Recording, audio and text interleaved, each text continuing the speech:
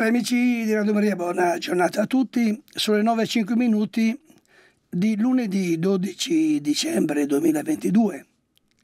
Pace e gioia a tutti voi, cari amici in ascolto, e che la luce della parola di Dio guidi i nostri passi nel corso di questa giornata, sulla via della verità, del bene e sulla via della pace. Andiamo al nostro programma, la lettura cristiana della cronaca della storia prima del pensiero, cari amici, vorrei appunto eh, dirvi che questa settimana è particolare perché è, è la settimana clou della maratona, cioè la settimana in cui dedicheremo tante trasmissioni per eh, farvi conoscere la presenza di Radio Maria in Italia e nel mondo, far vedere questo grandissimo progetto della Madonna. E i risultati acquisiti grazie al suo aiuto e alla vostra generosità, cari amici, e nel medesimo tempo eh, una settimana in cui prendere consapevolezza del grande dono che Maria ci ha fatto con Radio Maria e anche della responsabilità che portiamo, perché è chiaro che la Radio Maria è un suo dono, lei, lei ci ha fatto questo dono di inestimabile valore, perché non solo per il valore che ha in Italia, ma per il valore che ha nel mondo, e come opera di evangelizzazione straordinaria, praticamente raggiunge quasi tutte le comunità cristiane del mondo, insomma. E, oltre che eh, grazie ai mezzi moderni di comunicazione, praticamente tutte le radiomarie del mondo, che sono 125, eh, si sentono, si sentono in tutto il mondo 24 ore al giorno su un cellulare, cioè su un qualsiasi cellulare in qualsiasi parte del mondo potete sentire tutte le 125 radiomarie operative e nelle lingue con cui vengono trasmesse, quindi potete immaginare che cosa straordinaria ha realizzato la Madonna però questa è una responsabilità che dobbiamo portare avanti con grande consapevolezza perché sapete, cari amici, che Maria non ha finanziamenti se non quelli di suoi ascoltatori, quindi come dire che dobbiamo meritarci anche l'appoggio dei nostri ascoltatori, il loro aiuto, eh, che eh, finora ci ha consentito di andare avanti eh, quindi un grazie di cuore, eh, non è una grande percentuale è quella dei donatori, cioè in fondo parlo di Radio Maria Italia avrà 4 milioni di donatori, 4 milioni di ascoltatori, i donatori sono 100.000, quindi vorrei dire ci sono anche tanti poveri che non possono, che aiutano con la preghiera, però c'è ancora spazio, diciamo così, per far sì che e possiamo affrontare le sfide che ci sono in questo momento qui, è quello del caro prezzi dell'energia e le sfide che ci sono per, eh, soprattutto nel continente africano, dove la radio è quella decisiva, per, eh, è lo strumento decisivo, come, lo, come i vescovi, infatti tutti i vescovi ce lo, ce lo chiedono, per l'evangelizzazione, qui abbiamo molte possibilità ancora da realizzare. Poi per quanto riguarda il futuro, e la Madonna l'ha voluta questa radio e sa perché le serve, sa, lei sa perché le è molto utile. E finora è stata utilissima, ma forse lo sarà ancora di più nel futuro. E questo era per introdurre la settimana che io ho affidato alla Madonna, Regina di Radio Maria, perché eh, ci renda consapevoli eh, del dono che ci ha fatto e della responsabilità che abbiamo prima di tutto nei suoi confronti. Adesso, cari amici, vorrei andare avanti però per eh, fare una breve riflessione spirituale che ci conduca al Natale. E abbiamo visto le prime tre tappe di questo nostro cammino di conversione verso il Natale. La prima tappa, rientrare in se stessi per vedere qual è eh, diciamo, prima tappa, anzi fermarsi da questa corsa trafelata che è la vita e che è in modo particolare il mese di dicembre dove corriamo, facciamo, però non troviamo un momento per fermarci e per dedicare a noi stessi. Poi abbiamo visto la seconda tappa, il, il momento in cui fare il bilancio della nostra vita spirituale, cioè fare un check-up della nostra situazione interiore, cioè chiederci qual è il nostro rapporto con Dio, se siamo sulla via della salvezza o se siamo sulla via della rovina. E poi abbiamo visto, cari amici, che eh, la terza tappa, prendendo coscienza della nostra situazione di male, di peccato, e quindi prendendo coscienza che siamo peccatori, eh, che comunque la nostra vita eh, rischia di essere una barchetta che le acque agitate del male buttano qua e là cercando di affondarla, prendere coscienza che da soli non ci salviamo, che abbiamo bisogno dell'aiuto di Dio e quindi dal profondo della nostra miseria e avere l'umiltà di elevare a Dio la nostra richiesta di aiuto, come abbiamo detto il re Davide che dopo i suoi delitti, erano delitti veri e propri, quelli che ha commesso, eh, l'omicidio e l'adulterio, ha gridato dal profondo io grido a te, o oh Signore, ascolta la mia voce. Queste sono le prime tre tappe che avevo delineato sul nostro cammino di conversione in preparazione della confessione di Natale. Adesso, cari amici, in questa terza tappa eh, vorrei, eh, facciamo tappe diciamo una dopo l'altra, eh, dove si cresce alla luce di Dio nella consapevolezza della nostra situazione esistenziale, eh, bisogna arrivare al momento in cui eh, prendere coscienza dell'inganno nel quale siamo, caduto, siamo caduti, cioè l'inganno di Satana, che eh, per quanto riguarda la nostra generazione, soprattutto la, la, mia generazione, poi anche quella successiva, quella dei, diciamo così, possiamo dire, eh, sì, possiamo dire da, dal dopoguerra in poi si è delineato un inganno satanico che ci ha portato in questo scorcio, primo scorcio del secolo del terzo millennio, ci ha portato praticamente ad abbandonare la fede cristiana. Cioè non è che noi, mm, cari amici, parlo della nostra generazione, della mia generazione, non è che eh, come il re Davide abbiamo commesso anche i più gravi peccati. Parlo del re Davide perché è un esempio tipico di conversione, eh, di conversione che avviene comunque all'interno della fede. Però anche nel peccato il re Davide aveva mai perso la fede.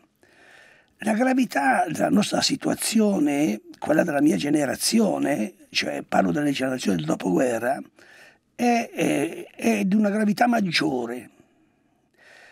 Perché di una gravità maggiore? Perché non è che abbiamo commesso dei peccati o dei delitti.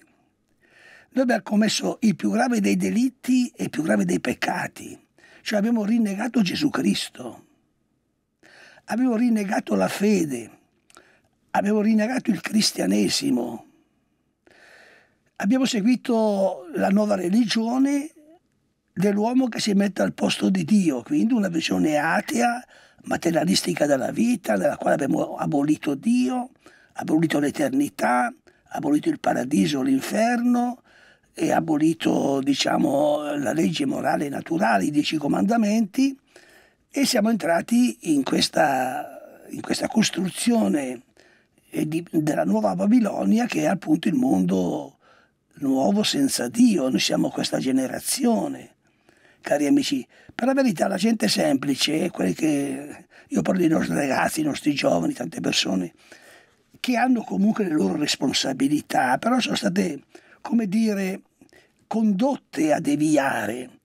perché c'erano le forze del male che ormai hanno in mano il mondo e quindi possono guidare la storia come vogliono loro. E la Madonna ha sintetizzato queste forze del male quando ha parlato del modernismo, i tre messaggi sul modernismo, molto severi, eh, detti con un tono di scomunica, possiamo dire, la Madonna ha detto che attraverso il modernismo, il modernismo significherebbe questo, la, la religione moderna, la nuova religione dell'uomo al posto di Dio. Questo è il modernismo. La nuova religione dell'uomo al posto di Dio. Noi abbiamo aderito a questa religione. Abbiamo rinnegato Cristo e la croce, come ci ha detto la Madonna, abbiamo aderito a questa nuova religione, che è un inganno satanico. È impressionante come la Madonna, nei tre messaggi sul modernismo, cioè su tre messaggi sulla nuova religione, dell'uomo che si mette al posto di Dio, li abbia tutti e tre collegati all'opera di Satana, col quale modernismo Satana ci devia dalla via cristiana, dalla via della salvezza mediante Cristo, che è la via, la verità e la vita, e ci devia sulla sua via, quella dell'orgoglio, quella della superbia, quello della ribellione contro Dio, dell'odio contro Dio, insomma, della, come si dice, come vorrei dire, della, della, della Babilonia, eh, la grande prostituta che, la, che l'umanità, la Babilonia la grande è l'umanità che ha deciso per la morte, cioè che ha deciso per Satana, perché Satana è la morte. Questa dunque è noi siamo, siamo in questo contesto. Eh, cari amici, noi possiamo ben dire che abbiamo commesso il peccato per eccellenza, l'apostasia. Cioè magari non ne siamo stati consapevoli, siamo stati trascinati, ma di fatto il risultato finale qual è? Che noi, che le moltitudini oggi vivono in un mondo senza Dio ti basti pensare come, la prospettiva che ci porta al Natale. È una prospettiva esclusivamente di carattere consumistico, cioè che ci sia una, come dire, un avvento di carattere religioso, che ci sia un Natale come incontro con Cristo, perché il Natale è un evento di grazia mediante il quale Cristo nasce di nuovo nel cuore di ogni uomo che si apre alla sua presenza. Ora voi fate il calcolo, quanti saranno le persone anche dal mondo cristiano che vivranno il Natale nella fede, nella preghiera, nel pentimento dei peccati, nella sollecitudine di presentare il proprio cuore come una culla nella quale la Vergine Maria possa depositare il principe della pace. Quante saranno? Non lo sappiamo certamente, anche nel continente cristiano per eccellenza, che era l'Europa, saranno pochissime. Dunque noi siamo, cari amici, siamo entrati in, questa, siamo entrati in questo grande inganno. Ora, quello che volevo dirvi in questa tappa particolare è proprio questo cioè scoprire l'inganno di Satana. Cioè quelli che, quelli che pensano che in realtà l'umanità ha fatto un salto in avanti e scoprendo che non esiste Dio ma che l'uomo è Dio, dicono che l'umanità ha fatto un grande passo in avanti nella sua consapevolezza. Ormai questa è diventata anche la religione, diciamo così, la filosofia, la visione della vita spicciola spicciola di quelli che seguono le varie sette che provengono dall'Oriente asiatico, no? cioè eh, siamo entrati, siamo cresciuti, siamo entrati in una nuova consapevolezza, siamo noi Dio, la vita è nostra, cosa, cos'è questa religione del Medioevo, eccetera, c'è questa superbia di fondo che in realtà copre una situazione esistenziale di miseria, di miseria e di disperazione ben coperte, ma non c'è niente da fare, se tagli il traccio dalla vite lo puoi colorare finché vuoi tu, secca e muore, anche se lo colori di verde diventa marcio. Questa è la nostra situazione, cari amici. È fondamentale prendere coscienza dell'inganno satanico. Cioè siamo, ci siamo messi sulla via della rovina La Madonna quante volte ha ripetuto che per il mondo senza Dio non c'è futuro né salvezza. E questo riguarda l'umanità in generale e riguarda noi personalmente. Anche recentemente ci ha detto l'umanità ha deciso per la morte, cioè ha deciso per Satana che è la morte. La morte, nel senso teologico e biblico della parola, la morte è la distruzione di tutto ciò che è bello, che è buono, che è santo, che è giusto. È l'inferno. Ecco, noi abbiamo deciso per l'inferno, ci ha anticipato qui sulla terra. Mi sembrano parole pesanti, ma sono le parole della Madonna queste. Poi se vogliamo eh, imbiancarle, non so se ci conviene. Ci conviene prendere consapevolezza dell'inganno di Satana. Ci conviene prendere e chiedere la grazia che ci cadano le scuole dagli occhi, ci conviene prendere con decisione la via della salvezza, diventare nuove creature, eh, di nuovo eh, ricevere e chiedere in dono la divina figliolanza, la vita nuova nella grazia, l'osservanza dei comandamenti, la pratica dei sacramenti, insomma, ritornare a Cristo che è la via, la verità e la vita, che è la fonte della grazia e della vita, cari amici. Questo dobbiamo fare. Scoprire l'inganno satanico, che è un inganno che attira, ma quando è come quando sei attirato in una palude nella quale affondi e dalla quale non esci più fuori e nella quale se non non c'è un dono di grazia speciale, perisci eternamente. Vi dico, vi sto dicendo le verità fondamentali della fede, che sono eterne, che non cambiano mai. Quante volte la Madonna ha ripetuto, anche in uno degli ultimi messaggi a Miriana, la verità è eterna, come è eterno Dio. La verità non cambia mai, le verità eterne non cambiano mai. È giunto il momento di lasciare, diciamo così, eh, la via della rovina, dell'inganno e della seduzione, della tristezza, della disperazione e tutto ciò che c'è di peggio lungo quella via, lasciarla. Dio ci dà la grazia di convertirci, ci dà la grazia di uscirne fuori approfittiamone. Per questo Natale non aspettiamone un altro, non sappiamo in che situazione ci troveremo il Natale del 2023, non sappiamo nulla. Adesso è il momento della salvezza, adesso è il momento delle nostre decisioni. Questo dunque, cari amici, era quanto volevo dirvi e ehm, adesso andiamo a eh, aggiornare la nostra situazione.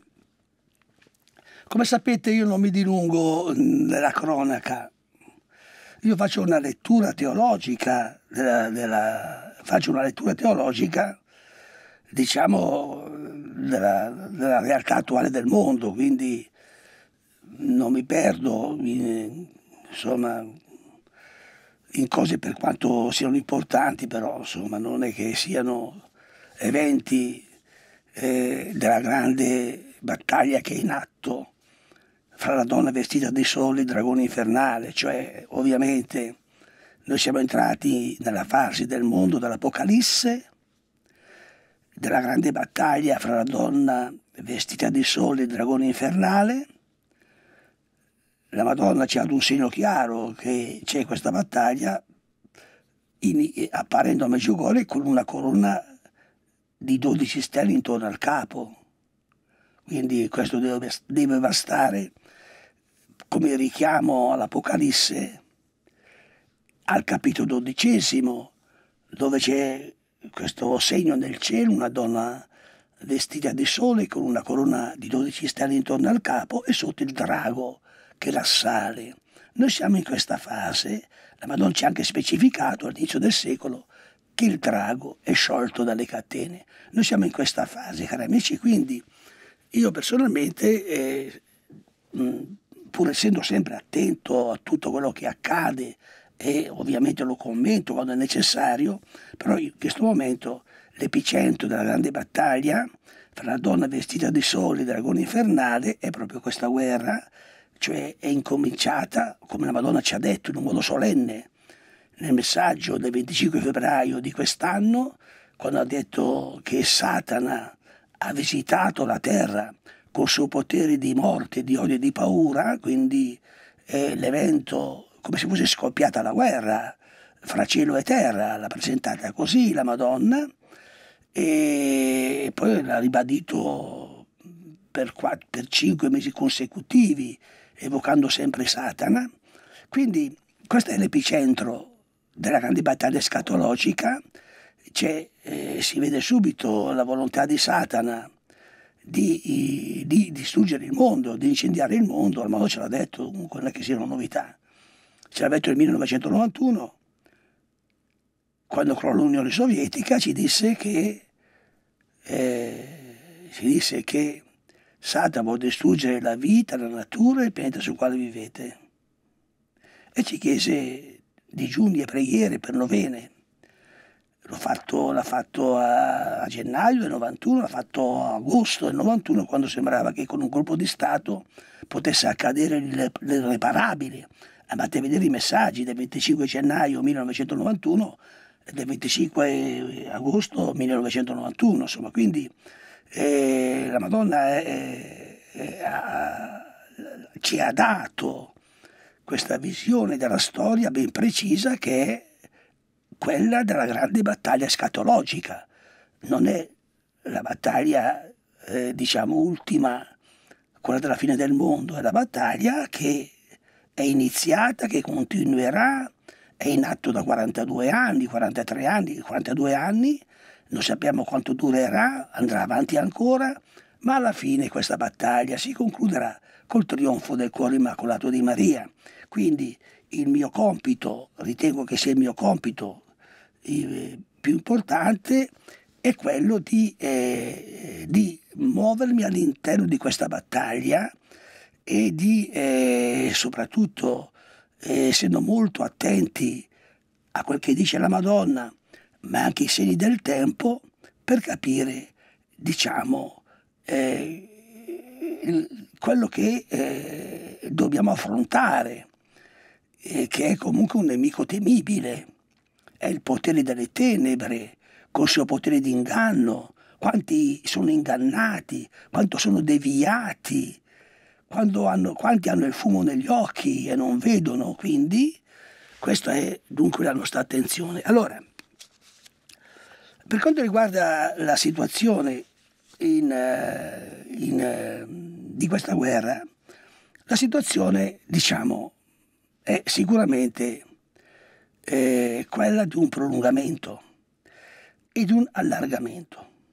Questo è quello che vedo io, poi dobbiamo anche tenere presente che tanti pregano perché questa guerra cessi e quindi c'è anche questa possibilità che le previsioni umane vengono, peggiori vengano smentite per fortuna, per grazia diciamo. Però umanamente parlando eh, questa guerra si prolunga e si allarga.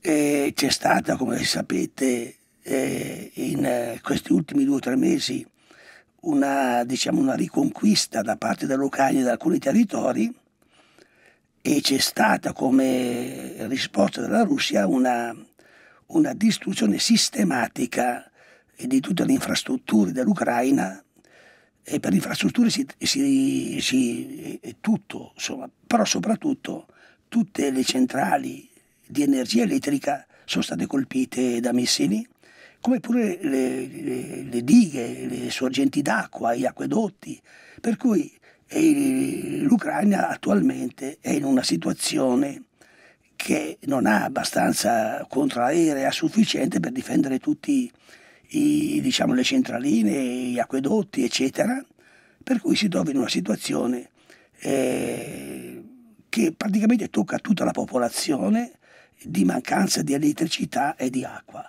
Questa è la situazione attuale che proprio nel momento in cui l'inverno sta entrando nella sua fase peggiore. Quindi eh, questo è quanto, questa è la realtà, poi se uno non la vuole vedere a me non mi interessa, eh, affari suoi insomma.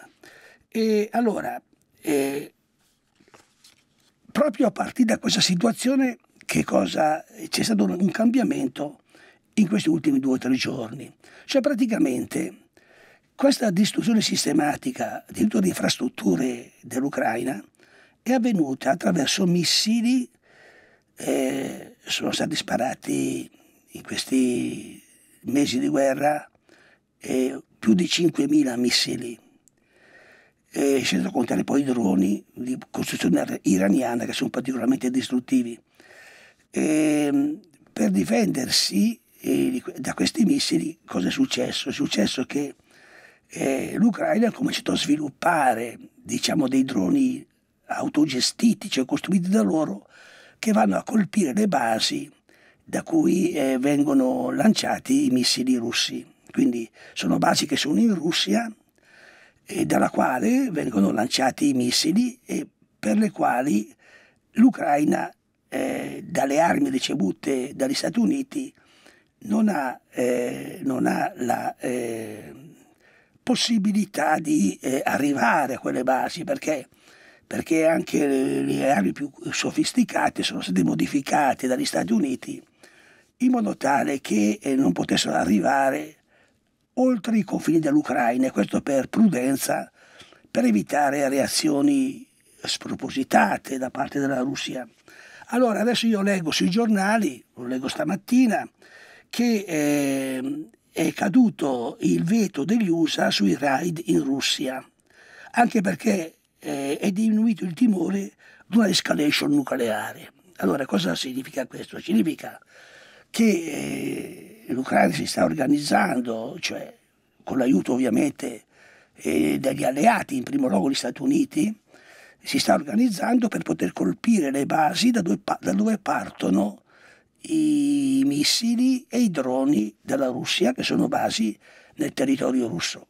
Cosa, cosa vuol dire? Vuol dire che comunque di fatto c'è un allargamento della guerra. Questa dunque è una situazione nuova che va segnalata, cioè non voglio perdermi in cose, però queste sono cose importanti da, da dire. E c'è sicuramente una, un prolungamento, un allargamento della guerra. Vi leggo brevemente, perché è molto breve, questo articolo del Corriere che lo porta però al condizionale, però in genere fa sempre così, cioè prima lo portano al condizionale, poi arriva la conferma.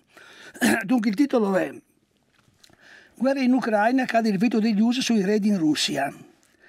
La decisione sarebbe stata presa in seguito all'intensificarsi nelle ultime settimane dei bombardamenti sulle infrastrutture civili ucraine da parte degli uomini di Putin, ma non dovrebbe mutare lo scenario, cioè non dovrebbe, diciamo, eh, non si dovrebbe uscire fuori dalla guerra, diciamo così, eh, come è stata finora.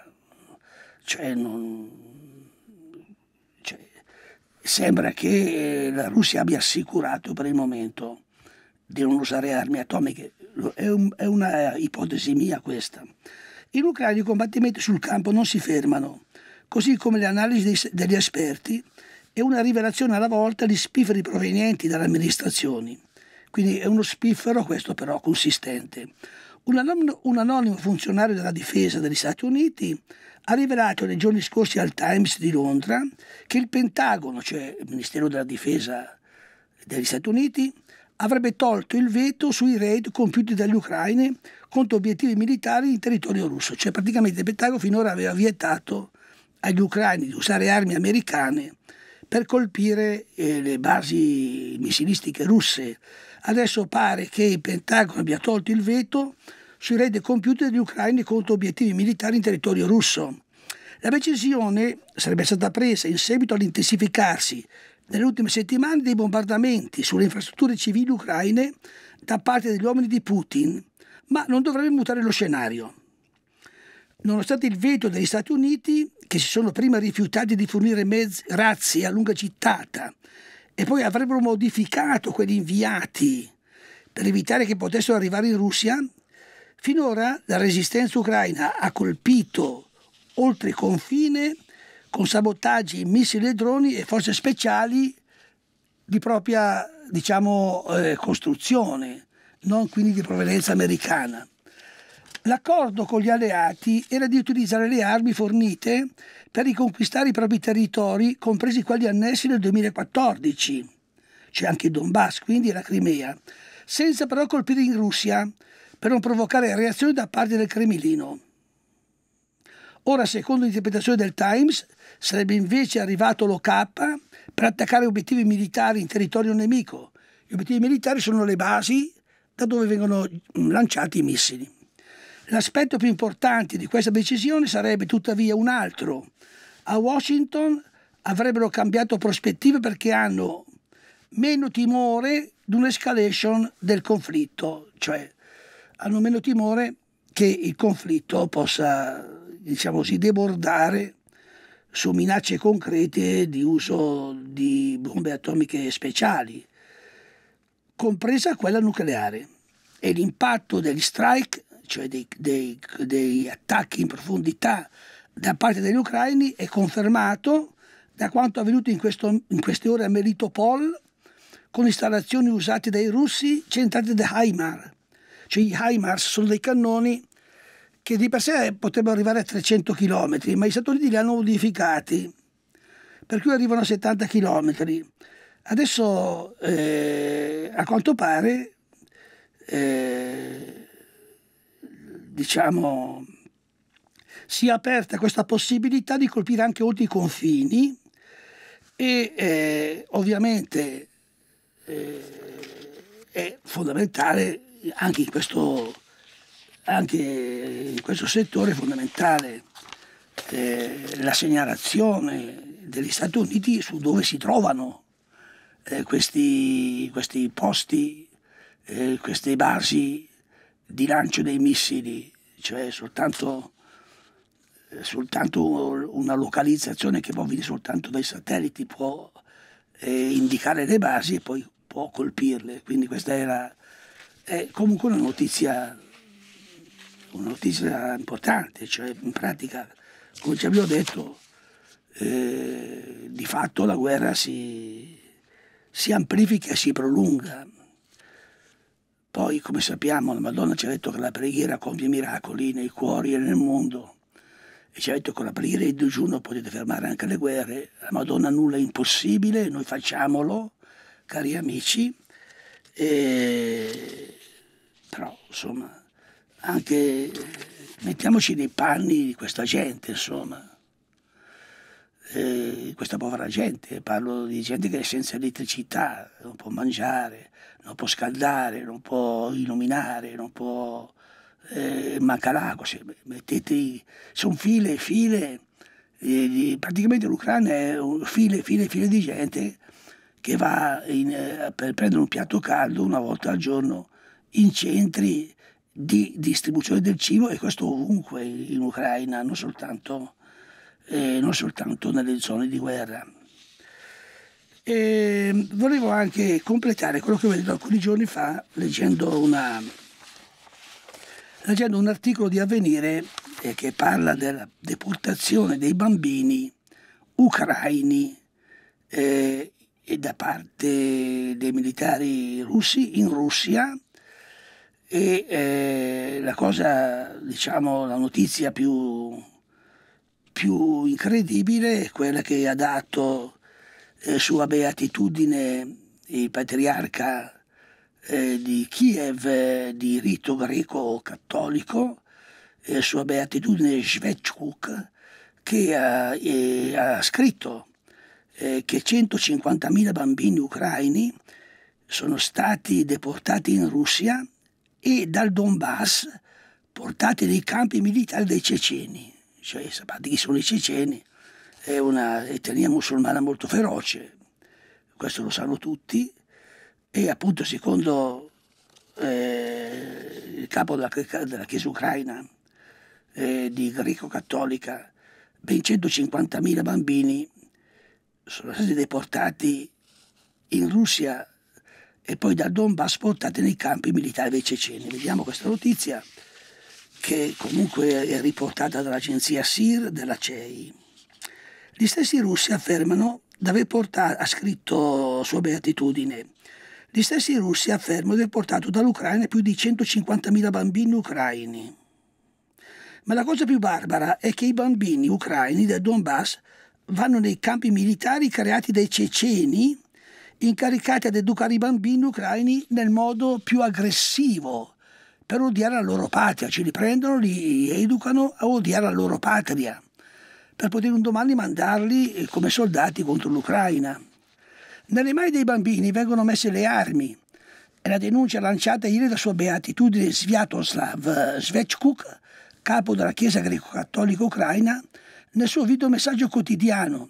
Oggi, dice l'arcivescovo maggiore, arrivano anche notizie molto preoccupanti e difficili, notizie drammatiche dai nostri territori occupati, quelli occupati dai russi. Di nuovo il nemico sta cercando di deportare in massa bambini ucraini. Inoltre i russi hanno lanciato uno spot dedicato all'adozione sforzata di bambini deportati dall'Ucraina. Preghiamo per i bambini caduti oggi nelle mani del nemico, dice, per i bambini a cui stanno rubando la patria, la lingua, la cultura, l'amore stesso per tutto ciò che è loro, e l'esortazione dell'arcivescovo che sempre nel messaggio di ieri ricorda che ogni giorno alle ore 20, ora ucraina, i fedeli cattolici del paese mettono da parte tutte le nostre attività per pregare per la nostra patria. Invito tutti i giovani, dice ragazzi e ragazze a pregare insieme per la patria perché questa è una preghiera in particolare per l'eroica gioventù ucraina. Come vedete, amici, oggi non sono i giornaloni o, o, cose di questo genere. Questa è la voce dell'arcivescovo della Chiesa, è il capo della Chiesa greco-cattolica dell'Ucraina, che è stato ricevuto qualche giorno fa dal Papa e al quale lui ha raccontato le cose come stanno D'altra parte abbiamo, abbiamo, c'è anche un altro articolo di avvenire che fa una, una visione complessiva di questo problema facendo capo all'alto commissariato dell'ONU per i rifugiati che alla data del 17 ottobre del 2022 ha detto che oltre 2 milioni e 800 mila ucraini eh, sono stati registrati come entrati in Russia dall'inizio dell'invasione. Secondo i funzionari russi, però, il numero è più alto con circa 4 milioni e mezzo di ucraini in Russia, inclusi 690.000, bambi- 690.000 bambini, a 5 ottobre del 2022, riporta Amnesty International. Il, il, decreto del presidente Putin per accelerare la concessione della cittadinanza russa ai bambini può facilitare l'assorbimento di bambini e persone con disabilità nella società russa, e denuncia sempre Amnesty International che negano loro, il loro diritto di scegliere e preservare la loro nazionalità. Niente di causale, dice Amnesty International, nella natura sistematica di alcune deportazioni o trasferimenti forzati sono parte di un più ampio attacco alla popolazione civile ucraina.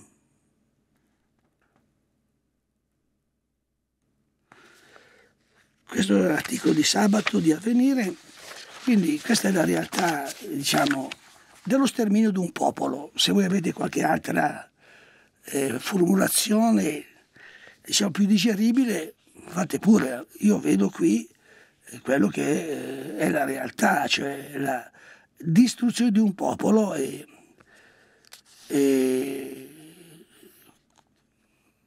questa è una, una, cosa, è una cosa che l'umanità non può, non può digerire, non può ammettere, non può sopportare nel modo più assoluto. Ci dovrebbe essere un'iniziativa globale eh, promossa dall'ONU e di tutte le nazioni del mondo perché costringa i russi a tornare a casa loro, perché di questo si tratta alla fin fine. Tornino a casa loro nei loro confini, quelli riconosciuti dall'ONU, non è che ci sia tanto da parlare. Andando avanti eh, si andrà verso il peggio e forse verso l'irreparabile. Bene, carissimi, questo era quello che dovevamo dire. Adesso andiamo, andiamo verso la fine, perché dobbiamo ovviamente poi... Eh, dovevo anche poi dedicare lo spazio necessario per l'inizio della maratona, avremo il nostro presidente Vittorio Vicardi ai microfoni alle 10, però c'è ancora un po' di spazio eh, per eh, diciamo il, um, il, nostro blog che è eh,